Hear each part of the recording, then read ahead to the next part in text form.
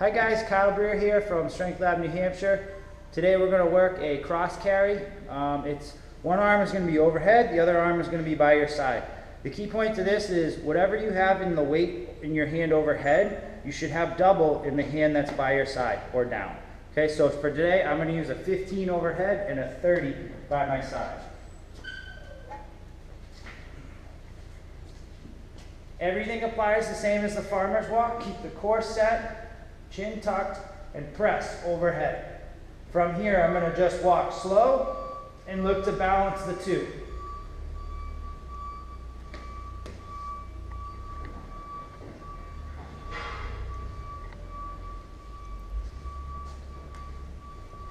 And that's the cross carry at Strength Lab New Hampshire.